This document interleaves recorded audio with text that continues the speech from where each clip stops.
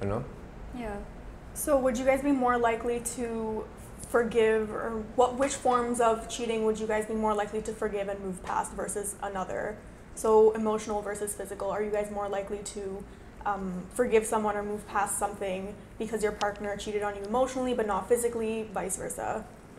If they had something going on for time, Mhm. like a side side man, and then they didn't talk about like that's completely like you did that intentionally, right? If there was a one-time mistake or like honest mistakes here and there, which everybody makes, you know, mm-hmm. then I'll be like, okay, I completely understand.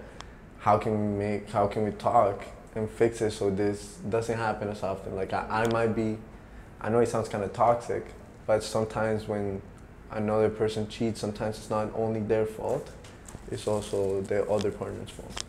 So you would communicate openly with your partner, as in um, talk about something that maybe you would be doing that might be causing them to cheat. Okay, yeah, sure. Not to get like into crazy specifics as to what happened. Um, it was an instance where it was emotional and ended up physical.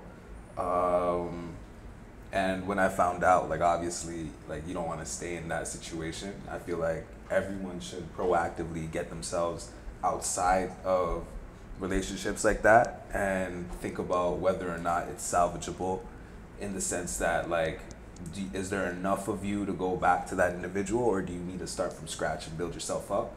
Um, and in my case i felt like i need to start from scratch and you know get back to, to ground zero uh, alone. So i feel like it's really nuanced. Like some people don't feel as though um, it matters so much so that they you know they can go back to that individual and give them another chance or whatever the case is so it really like depends on whoever Yeah, I think there's uh, once that happens to you, once you've been cheated on, you're never the same ever again, even with that person, right?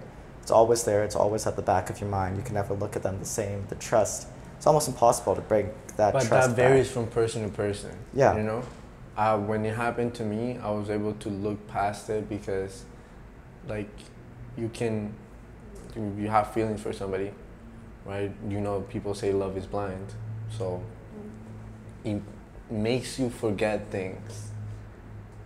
Because logic can be thrown out the window, you know? It makes you forget things that are clearly in front of your face. One thing that made being cheated on really easy to move past, it's going to sound really awful, was I've been on both sides of the spectrum, right? I've been in, I guess you could say, sticky situations where, you know, I've compromised my relationship, I've gotten physical or intimate with somebody else who was other, other than my girlfriend, and in that moment it was great, but you wake up in the morning like, holy crap, you know, you still love her at the end of the day. And feel like shit. when she made the same mistake, I was like, God damn, I've been in the exact same exact same situation. It doesn't mean I love her any less, but at that moment, at that time, I'm you know I made a mistake. It's interesting to see it from both sides of the spectrum. So did your realization come that you made a mistake after you cheated or after she cheated? You know, when uh, if you're the cheater in that moment and you keep it a secret, everything's fine and dandy. You have no idea how much it hurts until you get cheated on. You're like, holy crap, this destroys a person. Yeah. also she never knew Shouldn't find out till after. So for those who have Or until this video, have- maybe.